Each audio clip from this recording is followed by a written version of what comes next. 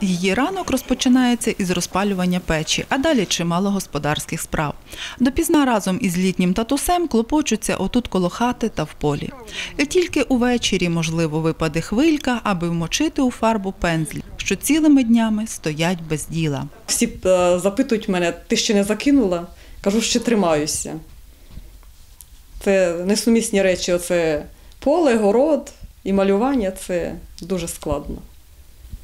Це так, з усіх останніх сил. Малювати Ніна почала пізно. Мама передала дітям свій талант. Вона ж і наполягла, щоб дівчатка його розвивали.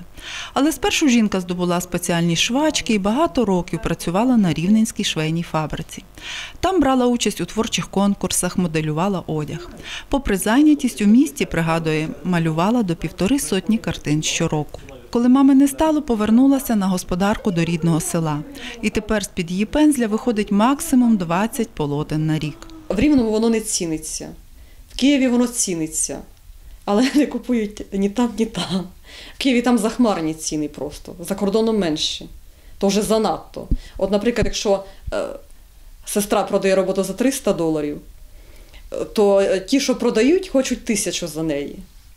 От хто таке може дозволити собі? З початку року усміхається, малярство принесло їй зо три сотні гривень, котрі вона знову вклала у фарби та полотно. Інакше просто не може. Ніна Лафета вважає, що малювати може кожен, хтось краще, інший гірше, але варто спробувати, бо це додає барв у життя. Нам не вистачає краси. Життя сіре в нас. Мені подобається дуже багато чого, але я не маю на це часу.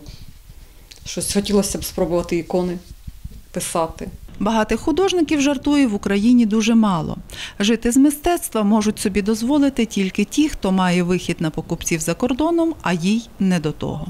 Але квіти Ніна таки вирощує. З них формуватиме букети для своїх майбутніх, вірить, що найкращих картин. Галина Шепель, Валерій Мартинюк, інформаційна програма День.